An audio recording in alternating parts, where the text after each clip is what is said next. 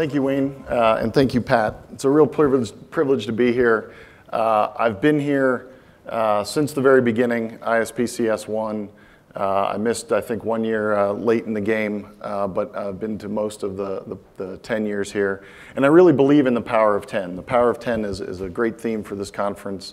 I believe in the power of the one, of the individual, and the power of the species, as, as George Sowers laid out earlier this morning. Uh, if, uh, you know, since many of you have not read his book, I encourage you to do so. Uh, I read it last January, right after it came out, and it's a fascinating read. Uh, and it really shows a path towards the future, and I think a path that those of us from a space perspective uh, really uh, can relate to and can understand and, and, and, can get behind. So I encourage you to read that. Um, I would like to talk about the last 10 years and the power of 10 and uh, what uh, the journey has been uh, for commercial space for these last 10 years. But I want to start a little bit further back than that, um, since Pat did ask me to talk about my own personal journey um, rather than focusing on Blue Origin today. Uh, I wanted to talk about um, where I came from. I, I, I started with uh, the very first space shuttle launch back in 1981. I was a, a young, young lad, 13 years old, living down in Florida. I went to this first space shuttle launch. Uh, and then I was fortunate enough uh, 30 years later to be at the very last launch and the last landing. So wheels up and wheels down on the entire program was, was quite moving to me and it, it meant a lot to me. Uh, it still does. And, and I think that having that long-term perspective is what we need as we look at commercial space. As Pat and I were just talking, I'm actually quite frustrated with the pace of, of commercial space. Uh, it's been 10 years since the vision for space exploration. I want to talk a bit about the creation of the vision and, and how it meant something for, for commercial and, and, and the path forward from a government space perspective. Uh, but it really has been frustrating uh, to be 10 years into commercial space, if you will, and 10 years from the X Prize, uh, and, and to not see a proliferation of activities uh, of people flying regularly. Um, but what we really need to do is keep that long-term perspective.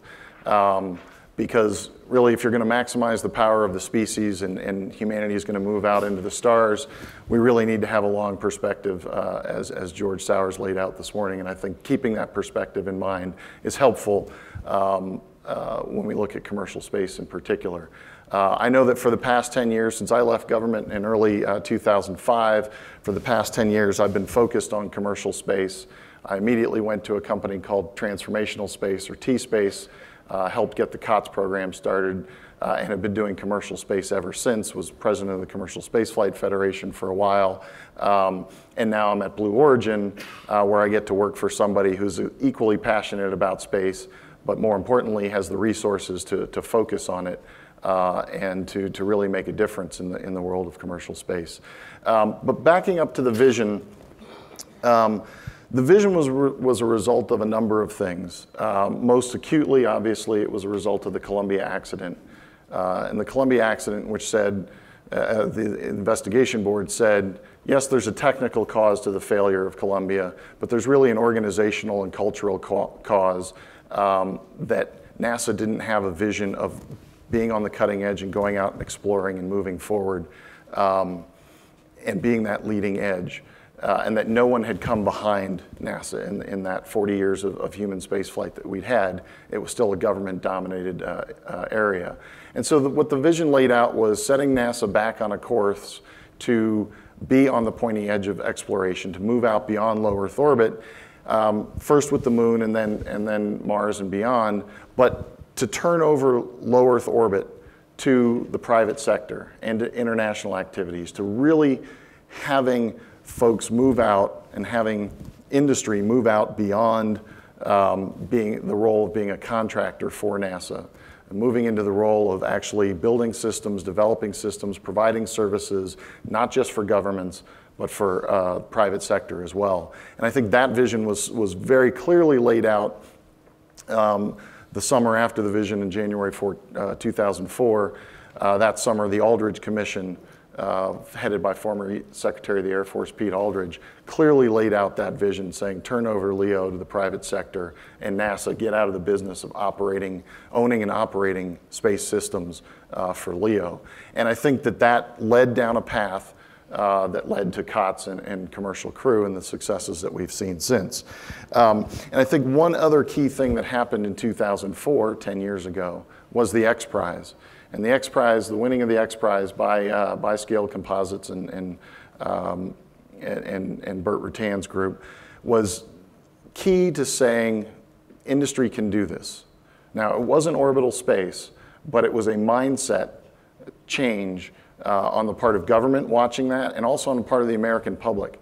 When the American public saw that, there was a huge, tremendous reaction and excitement.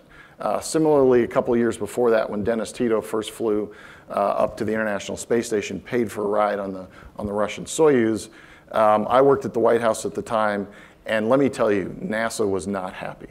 NASA was aghast at what was happening. Um, the White House had some consternation, uh, and there were frantic calls to try and get the White House to, to call the Russians and tell them they couldn't do this. In the end, that was not going to happen. That didn't happen. Um, and when, the, when, when Dennis Tito went up, the American public said, wow, that's a great thing.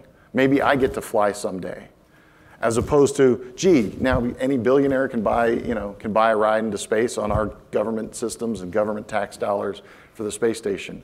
You know, so there was a fear that people would think, you know, rich people would be um, exploiting government tax dollar uh, uh, activities. Uh, and quite the opposite happened, which was there was an, an, enthusiasm on the part of the American public that said, finally, space is opening up to people who can, aren't professional astronauts and can maybe go themselves someday. And so that really was a mind, uh, a mind shift or a, you know, a change in, in perception and paradigm on the part of uh, US government. And what followed after that was uh, a, a, series of, um, I think, major programs which are both groundbreaking paradigm shifts for government space and for commercial space, but they're in this sort of quasi-hybrid, uh, quasi-government uh, space activity. They're not quite commercial yet. They're not quite fully government the way it had been practiced before. Um, and so the first of that was, was COTS. And, and COTS was uh, ultimately very successful, uh, led to the development of two new rockets, as well as the development of two new uh, spacecraft to deliver cargo to the International Space Station. And while the, the, the program was designed for cargo to the space station, um, the real outcome of it that was uh, more broadly useful was the, the two different launch systems that came out of it and you know, what those capsules might be used for in the future. Uh, for crew and others, because there is no market for cargo beyond the International Space Station, beyond a government market. So if it's a captive government uh, market, if you will, and the vast majority of the dollars come from the government, it's still very much a quasi-government activity. Um, commercial crew takes that one step further in that there is a market for people beyond that. Now, who would have thought 10 years ago that we'd be talking about NASA funding two commercial crew providers, NASA actually flying their astronauts on privately owned and operated vehicles. That, you know, in, in, in, in my view 10 years ago with the vision, I thought that would take a lot longer than that. I thought that was really outside the box of, uh, of where NASA would come, you know, be comfortable uh, operating. And I really thought that it would be from a private sector that would get people into, into low Earth orbit first. Um, but those investments by NASA have been tremendous. Uh, now, in the future, uh, anybody that brings along a better mousetrap, brings along a better capsule, has a mechanism to get into to providing uh, rides for NASA astronauts. And not only that, those companies that are providing those services to NASA are also going to be providing them to the private sector and to other folks multiplying the number of people that fly into space. And after all, our goal is millions of people living and working in space. And to get there, we can't do it just based on, on government space activities alone. We need that private investment, we need those private systems, and we need to be flying private people to do more things. Uh, and I think that those, those NASA programs are, are, are very significant. Um, I think they came on the heels of, of multiple attempts at, at space commercialization uh, that were all really dependent on government markets and government money. Um, and, and, again, I, I, tend to think of Crew as the first market that can really go beyond government because there are, as, as you know, we talked about before, there's 7 billion people on this planet, uh, and pretty much every one of them would want to get into space. Uh, and so while in the beginning it will be those that, you know, can, can afford it, uh, that price point will come down as we start to fly more. I'm very excited about that. There have been a couple of non-government space activities uh, that, uh, that have really defined the last decade. Um, I'm thinking, you know, uh, Virgin Galactic, XCOR, Blue Origin. Um, those, those activities so far are all in the investment phase. We're investing in the capabilities, um, and they have yet to bear fruit in terms of revenues and market. Uh, but I have full confidence that, that those will.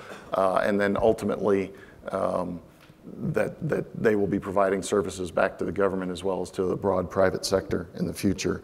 Um, I'm going to end uh, in just a second here, but I, I, I didn't want to uh, get off the stage without mentioning a little bit about Blue Origin. Um, you know, we uh, made an announcement several weeks ago with United Launch Alliance about the development of the new BE-4 uh, rocket engine, very large uh, rocket engine, 550,000 pounds of thrust, uh, liquefied natural gas, and, and liquid oxygen as the propellants. Uh, we're very excited about that. Um, and this is one of those examples of, of a purely commercial activity. It's fully funded by the private sector, by two private companies uh, using private money. Um, we're about three years into the development of that engine. We're hoping to fly or have that finished and flight ready by the end of 17 with a first launch in 2019 on a ULA rocket. Um, we're very excited about that. But this, this, this, progression that we've had over the last decade um, uh, from fully government activities to, to hybrid uh, government commercial activities and to now some fully commercial activities bearing fruit. Uh, it's been exciting to watch. As I mentioned before, it's also been a little bit frustrating at the pace of it, uh, but we're all out there working it together, uh, and I commend each and every one of you for being involved in it and for, for, for making it happen, because without us, it's really not going to make it happen. Uh, it's not going to happen. So with that, I appreciate the opportunity to be here today, and thank you, Pat. Thank you, Wayne.